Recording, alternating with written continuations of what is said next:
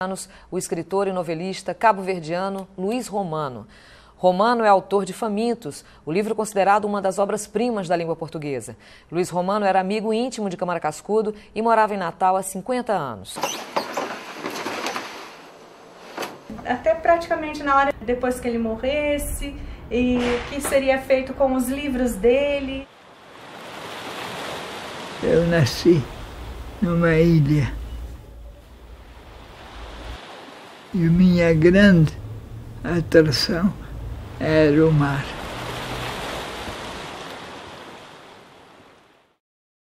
Ao leitor que tenha compaixão, que se solidarize com o irmão cabo-verdiano que está sofrendo.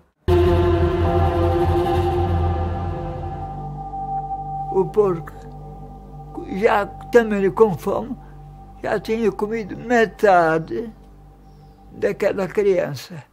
E o que me chocou foi ver aquela senhora, aquela mulher desesperada, com os pedaços do filho na mão, dizendo: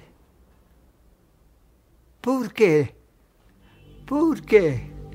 Porque Deus deixou o bicho comer meu filho. Aí eu também noto está lá. O sofrimento.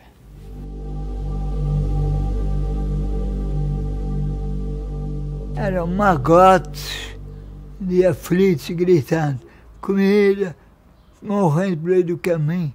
Não havia caravana disciplinada, andando, nem nada disso.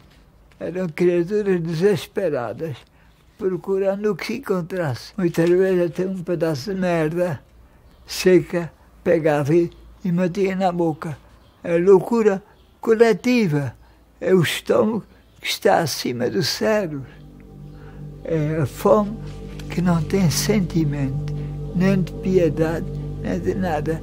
Quer é saciedade.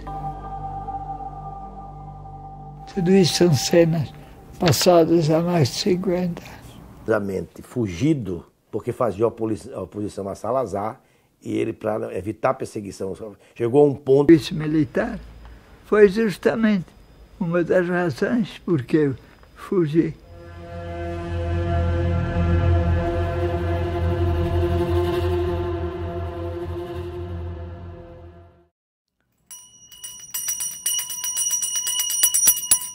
Estávamos juntos, festejando um momento de esquecimento. Estou realizado. O que é aquilo mais? Eu tenho aquilo que pouca gente tem com perna cortada. Acredita no ser humano. Acredita. É a única coisa que temos em quem acreditar.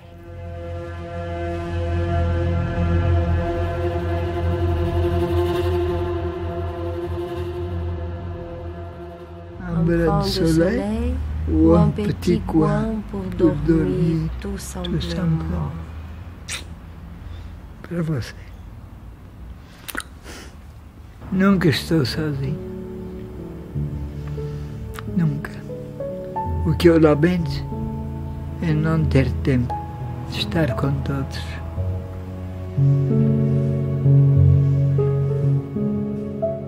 E ao mesmo tempo, o poeta, né, que se debruçava escrever os seus poemas, que tocavam romance, que tocavam ensaio.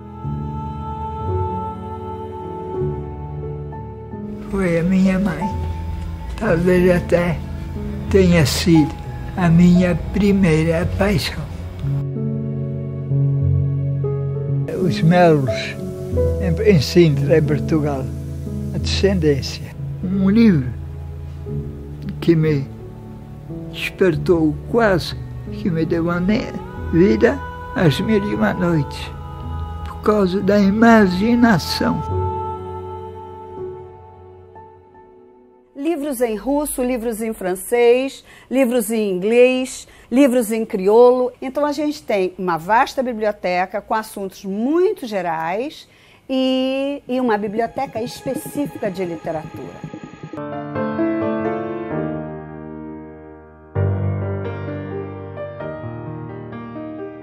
Livro que eu escolhi para representar todos. É porque ela está aqui. Senão eu tinha te mandado a merda há muito tempo. Por quê? Ah, agora já não é. Agora a merda é perfumada.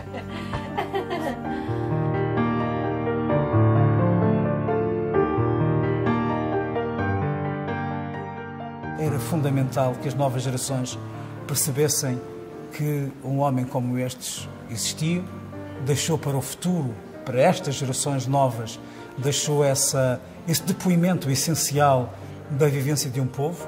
São memórias vitais do percurso do povo cabo-verdiano e que, mesmo com a, pujança que o povo cabo-verdiano terá agora, que a República de Cabo Verde adquiriu com a sua independência, a verdade é que são registros inapagáveis de um percurso e que não se pode desprezar na história de um povo.